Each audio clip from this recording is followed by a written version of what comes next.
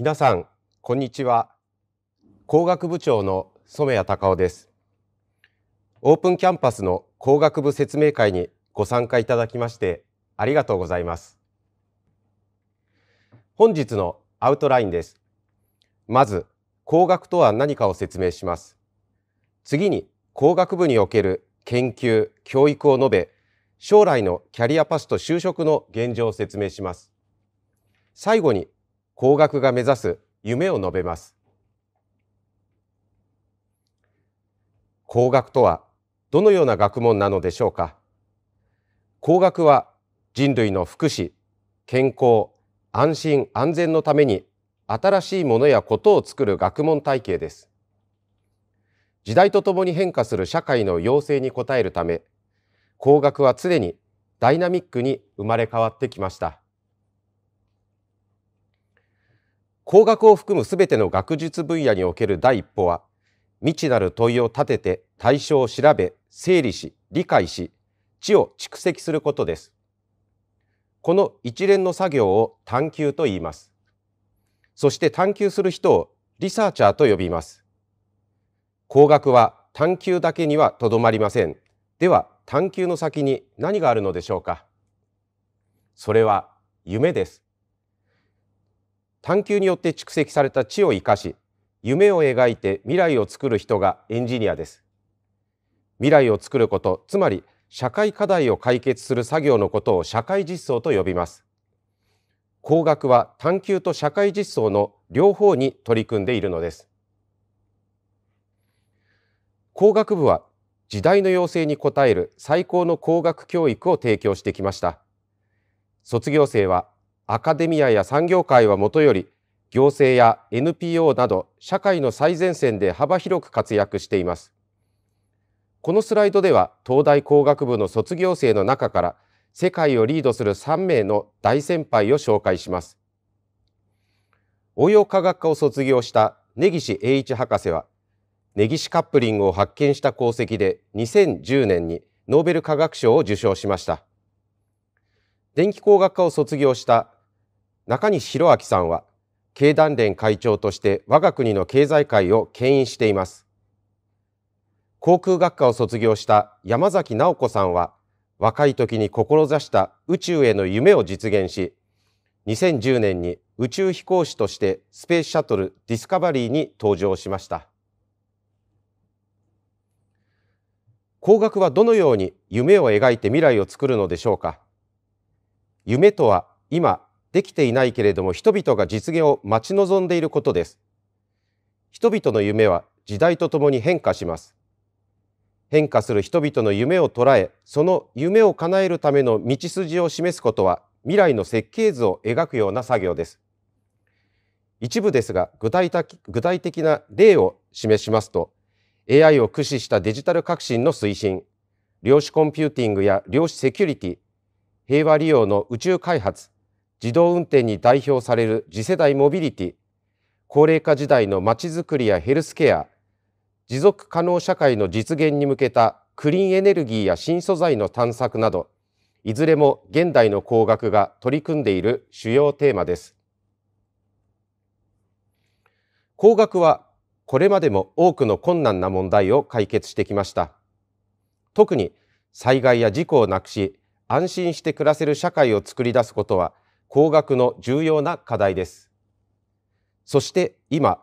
私たちの生活はウイルス感染症による危機に直面しています。ウイルスの脅威と戦うには医学や薬学の知に加えデジタル革新を推進して工学の知も総動員する必要があります。例えばウイルスの危機を察知して感染リスクを低減する技術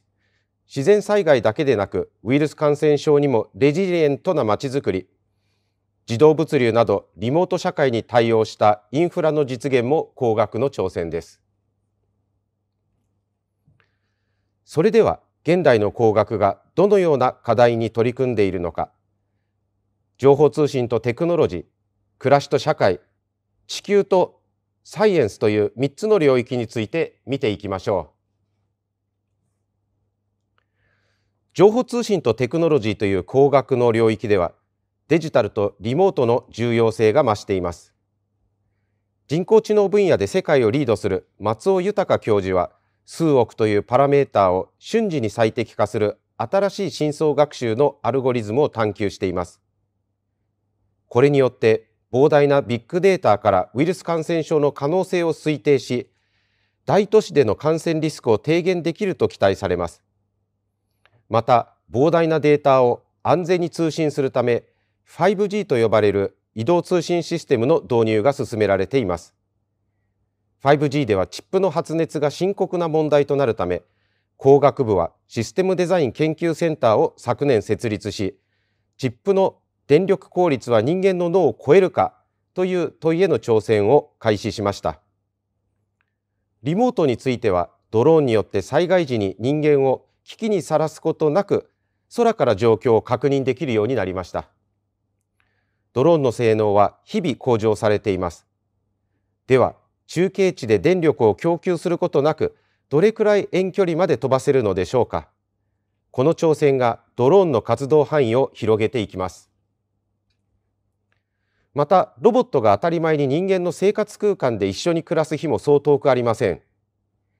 人に優しいロボットを実現するために、ハードなロボットを生物のようにしなやかにできるのでしょうか。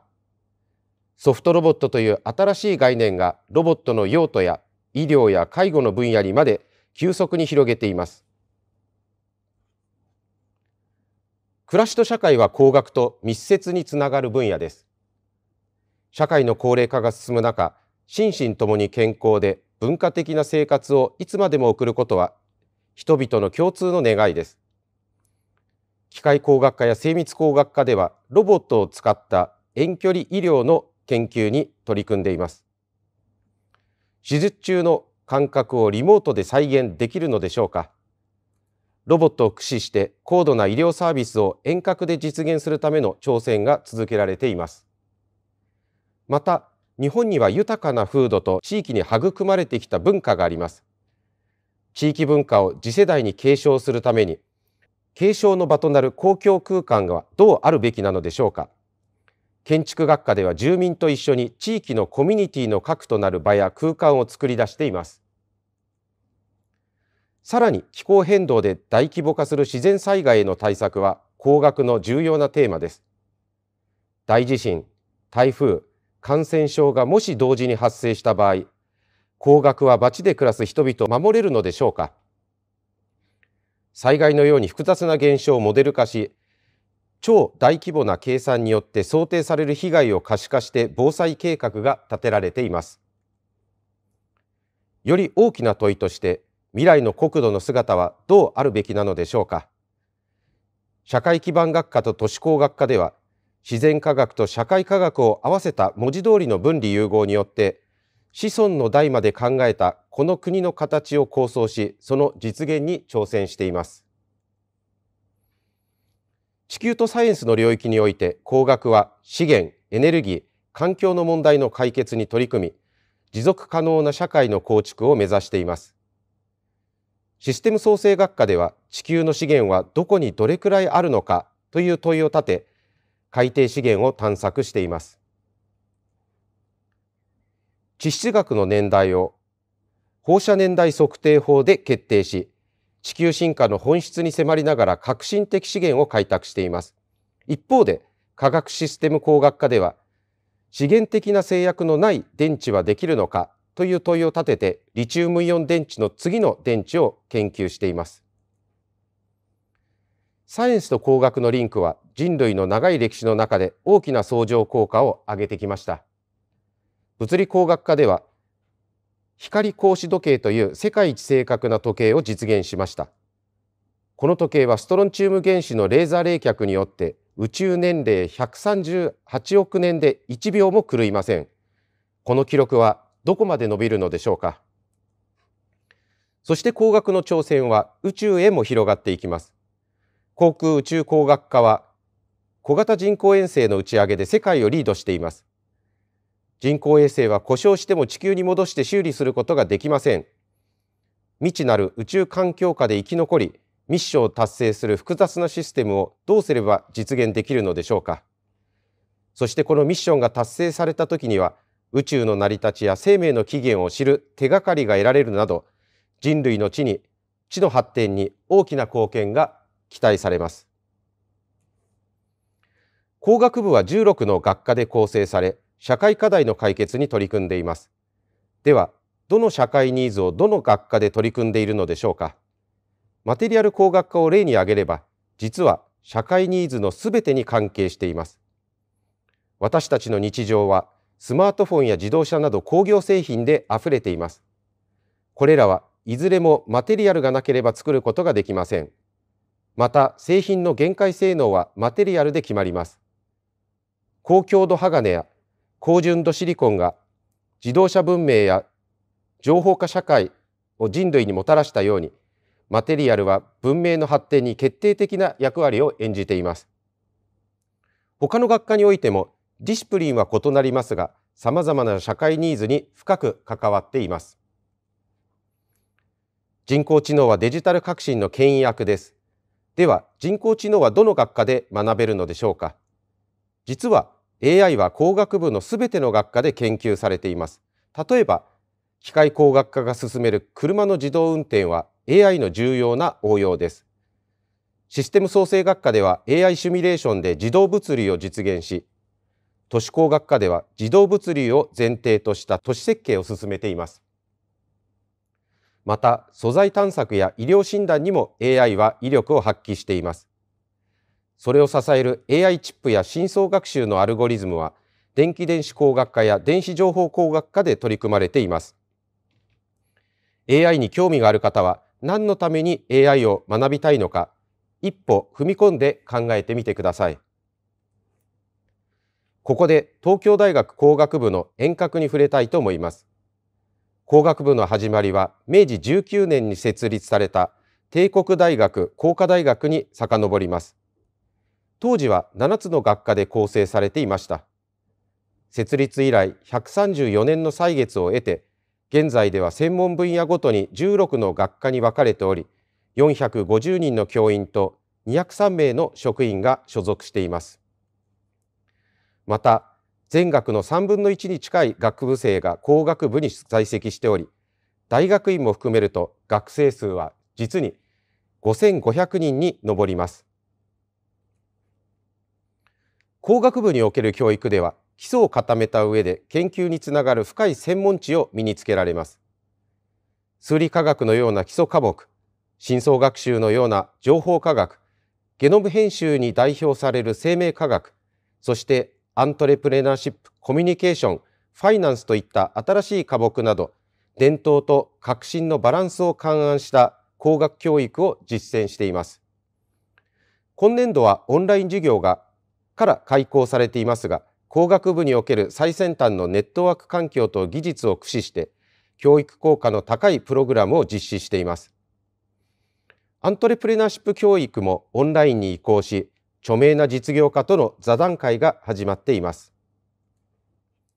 さらに大学院では単一の学問分野では解決が困難な問題にチャレンジするため、卓越大学院プログラムという修博一貫学位プログラムを整えて、移行連携や傾向連携など異分野との融合を進めています。工学部の教育において特に重視しているのは基礎力と実践力です。体系化された講義と並行して数学や物理学などの基礎科目の演習 AI プログラミングなど情報科目の演習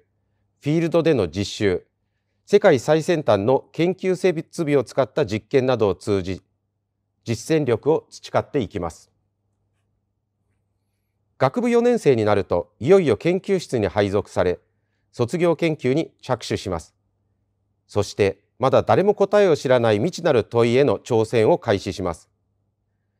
科学生命工学科における卒業研究を例に挙げ、その様子を覗いてみましょう。分子は多様な形をとるため、3次元構造を予測することは難しい問題です。ここで発想を転換して、コンピューター上で予測した通りに3次元構造を形成する分子を実現できるのか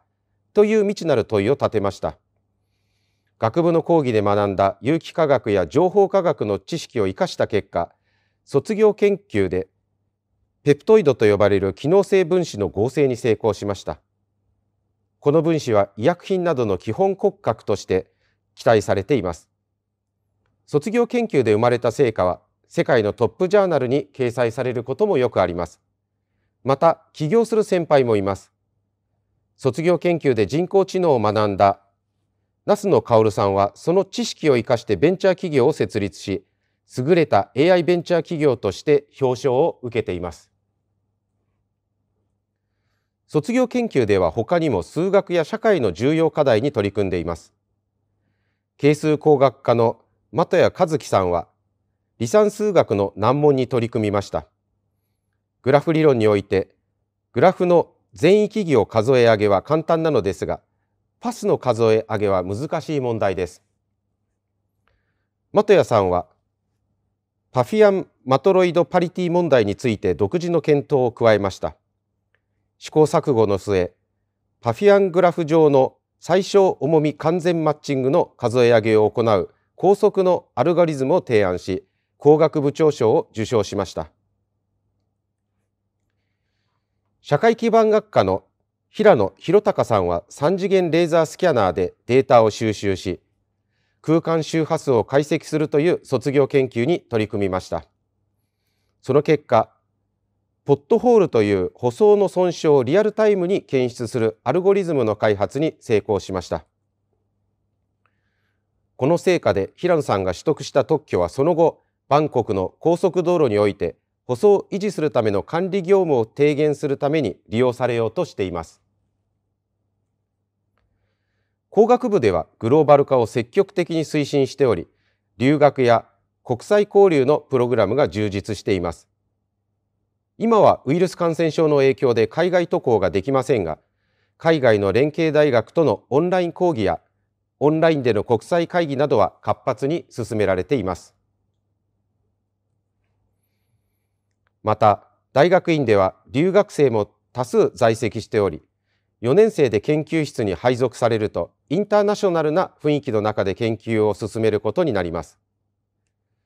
その結果、英語によるプレゼンテーション力やコミュニケーション力など国際的な素養や感覚が自然と身につきます。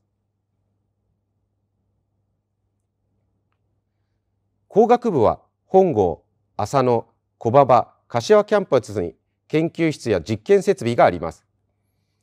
工学部の卒業生の8割以上が大学院修士課程に進学します。大学院は専門分野に応じて工学系研究科に加え、情報理工学研究科、新領域創生科学研究科、情報学際学際情報学府に分かれます。プチ研究所も含め多彩な選択肢があります。学部を卒業した後に大学院で大きな挑戦に取り組んだ例としては、今年総長賞を受賞した先輩を2名紹介します。理学部物理学科を卒業した前田健人さんは工学系研究科の物理工学専攻修士課程に進学して量子暗号通信の理論研究を進めました量子暗号の長距離化は多くの研究者が挑戦していましたがその安全性は理論的に証明できていませんでした前田さんは量子力学や統計を用いた不等式を出発点にして長距離の量子暗号が安全に行えることを世界で初めて数学的に証明することに成功しました。文化一類に入学した成美光也さんは学部2年生の時に情報工学に興味を抱いて利点し数学や物理学物理の授業で他の学生に追いつくために必死で勉強した後優秀卒業論文賞を受賞しました。修士課程では医学系研究家と連携しながら細胞の透明化の研究を進め博士課程ではファッションブランドアンリ・アレジと共同で研究成果をアート作品として表現することに取り組みましたそして世界最大のメディアアートの祭典で展示されるなど国際的に高い評価を受けました工学はありとあらゆる分野との融合を進めながら発展し続けています。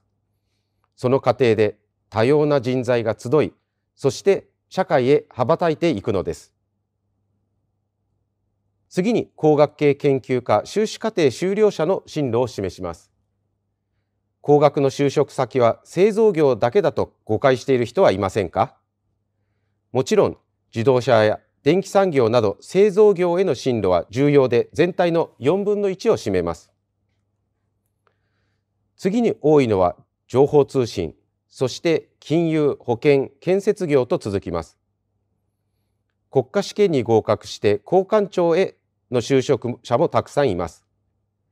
工学部の進路は選択肢が多いため、自分が目指すキャリアパスを思い通りに実現している先輩が多くいます。